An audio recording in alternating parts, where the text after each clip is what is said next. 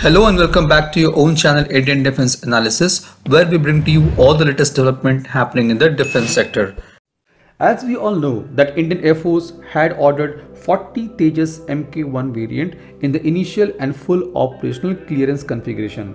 It includes 16 Tejas Mk1 of IOC standard, 16 Tejas Mk1 of FOC standard and 8 twin-seater Tejas trainer jet.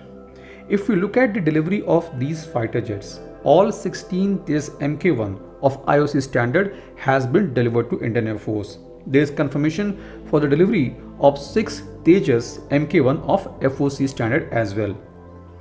Back in March this year, the 14th Tejas Mk1 of FOC standard was spotted flying, which means by this time HAL would have completed the production of all 16 Tejas Mk1 of FOC standard. Earlier, it was reported that production activity on FOC Tejas Mk1 is complete but was waiting for radars from Israel. Now with the completion of production of Tejas Mk1 of FOC standard, HAL will be progressing on the production of 8 trainer jets which is part of the initial order. These 8 trainer jets are going to be of FOC standards. Total 18 LCA trainers are planned to be delivered by the end of financial year 2023 which does seem little challenging. Out of 18 trainers, the 10 LCA trainer jets are part of order of 83 Tejas Mk1A inked during the Aero India 2021.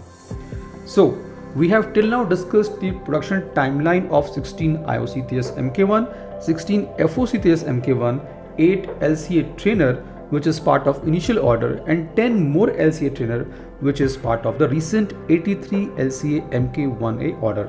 Next, we'll talk about in detail about the development progress of remaining 73 LCA MK1A. The Tejas MK1A is an upgraded version of the final operational clearance or FOC configuration with 80% of detail components being the same. The delivery of this MK1A is supposed to start after 3 years of contract signing that is from February 2024 onwards. HAL will have to deliver Indian Air Force first 3 aircraft in 2024 and 16 aircraft per year for subsequent 5 years. The Tejas MK1 manufacturing and testing will progress in parallel to speed up the process. Further, to ramp up the production, HAL has also set up two additional assembly lines and all three assembly lines are operational now. Now we'll discuss in detail what is the progress on the development of Tejas Mk1A fighter. As many of you would be aware that Tejas Mk1A is to be fitted with AESA radar electronic warfare suite that includes a jammer, the combined interrogator and transponder CIT and IFF plus system and a digital map generator. The digital map generator is designed by HAL's Mission and Combat System R&D Center which will carry the complete map data of country and the neighboring areas. Depending upon the Tejas mission, it will extract the digitized map of current mission area and transfer it to the pilot's display where the pilot can easily access it.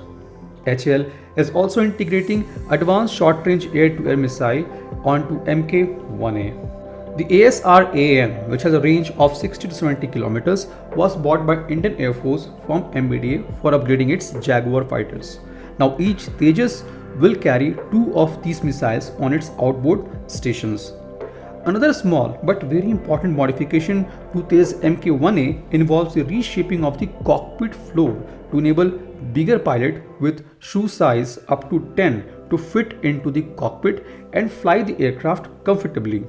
Probably 90% of Indian Air Force pilots have the shoe size near to 10. As per HAL chairman, Indian Air Force has allocated HAL a Tejas Mk1 fighter numbered SP25 or series production aircraft number 25 for integrating these modifications. HAL is expected to complete the development trials of this Mk1A by the end of year 2023. Now as per the latest update, this MK1A trial platform that is SP-25 is now ready to take flight. It has been equipped with AESA radar, interrogator and electronic warfare suite.